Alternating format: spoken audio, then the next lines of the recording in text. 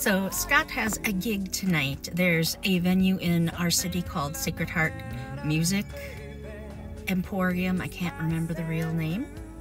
Um, but they're doing an event tonight that's all Elton John songs. So every band is playing one or two songs. And Scott is playing drums for the Israel Malachi Orchestra. And when it was announced, I wasn't sure with my um, surgery if I'd be able to go. So I don't have a ticket and they're only playing one song, so that's fine. So I dropped him off and was like, where can I go? Well, it's too dark to do anything outside because it's only January. And as it is January and I'm doing dry January, I can't even go sit at a bar. Well, I could, but that would be super boring. So I figured what would be the best thing to do. Let's go spend some money. So I wandered around listening to my book, A Court of Mist and Fury. I'm on book two, that is.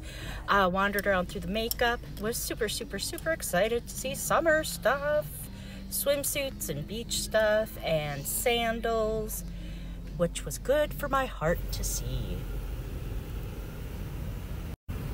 The next big adventure, a car wash. It's kind of funky in here. Way to go, Kwik Trip. So if this isn't way too loud, I'm gonna do a haul. I got these two little baskets I thought would be good for putting makeup. I got this little balloon dog slinky thing because I like to have weird stuff on my desk.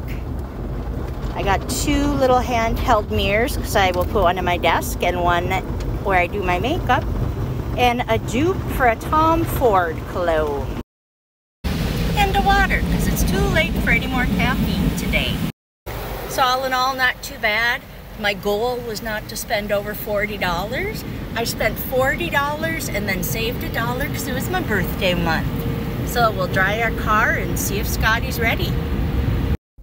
So thus ends our night. I'm just gonna hang out here in the Cub parking lot where it's light and safe-ish and wait to go pick up my fare.